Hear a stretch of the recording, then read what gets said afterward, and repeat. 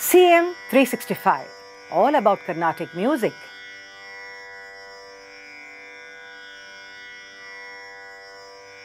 Why do we like a song? Why is it that we listen to a particular song many times and still want to keep listening to it? And why do we sometimes dislike a song? Well, there are various reasons actually for us to like a song.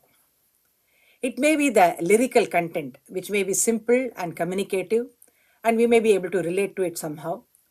Or it may be the melodic aspect, or sometimes when the particular song, even if it is an unfamiliar song, a new song, if it is sung by a very popular person whom you are familiar with, immediately you're able to associate yourself and you start liking the song.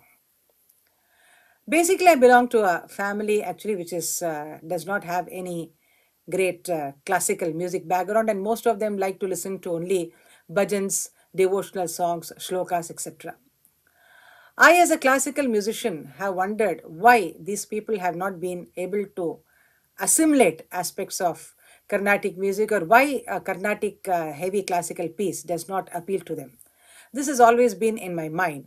And uh, after a bit of pondering, I have tried to derive some few on, uh, points for you, uh, which I thought will be interesting also to share. In the sense that um, now, as a researcher, I am more analytical. So why do I like classical music? Is because of the fact that I'm more analytical also. When I listen to a new song, I try to decipher its scale, its melodic content, its movement, rhythm, etc. And uh, as a musician, for us, all of us, we see that our intention is definitely to create material that resonates and are appreciated by those receiving the work. Now, from the listener's point of view, what are the aspects actually which make one uh, become fond of a particular song? The first thing is about the familiar patterns and ragas. Now, if a particular composition in, is in a ragam which is familiar to you, immediately you develop a connect and you start liking that particular composition, though it may be new. When you have heard a popular song repeatedly, what happens is that we know the lyrics, we know how the melody flows, we know how the rhythm goes, and it is actually almost like as if we are creating the music and the music is part of us. And in this context, we see that for the common people, the more uh, uh, people, you know, the who are not inclined to classical music, they like this kind of uh, light devotional or the shlokas for the fact that first thing is, of course, it's a simplicity of the tune. The second thing is also very important about the repetitive nature of the melody. In slokas, you see that every stanza is repeated in the same melody. So that way, even if you don't understand the lyrics, I'm sure that most people who listen to slokas as such uh, really do not know the inner meaning and all of these uh, slokas. It's in fact a lifetime pursuit to even understand all the lyrical content in its uh, deepest sense. But then because of the fact that the music is repetitive, it's very easy to follow. It's very, very easy to assimilate and also to by heart it mechanically. And that way we start associating and start liking the song. Now, this is what we call as the element of safety in patterns. When we listen to a new or unfamiliar song, our brain actually is actively searching for recognizable patterns in the unknown sound. For example, if I know the song, Shambho Mahadeva, and somebody sings uh, another composition in the same ragam like Shiva Shiva Shiva Radha.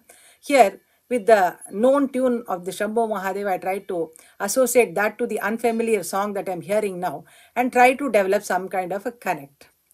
We are receptive to the new sound. It is just that if the brain can't detect the pattern, we don't like the song. So when we are able to develop the connect, what happens is that we become very comfortable and the next song also we start liking. But now if you are not able to associate anything at all with that song, what happens is that we slowly try to, uh, you know, sort of, uh, you don't uh, react to that song and you also won't like the song. But if you actually, the next point is how to like something which is more complex, is that you have to really spend a lot of time, I would say, in terms of listening intently and uh, once you listen intently and you try to decipher the pattern of the melody, the rhythm, what happens is that there are chances that you start liking that particular song which you actually did not like initially. And slowly it'll grow into you and you'll start liking it all the more. This is what is called as the exposure effect. Now, as I also said earlier, repetition makes the unfamiliar also familiar.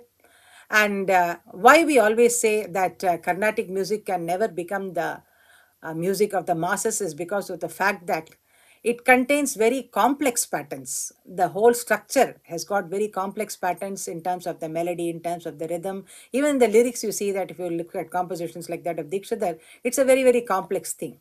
And that is why we see that uh, such songs of the classical variety appeal only to a limited uh, kind of, you know, limited number of people. Whereas the compositions which are more repetitive, as I was mentioning, like the um, Sampradaya bhajans, the devotional music, the shlokas, where there is repetition and simplicity, this makes for more people liking the songs and making this genre of music more popular. CM 365, all about Carnatic music.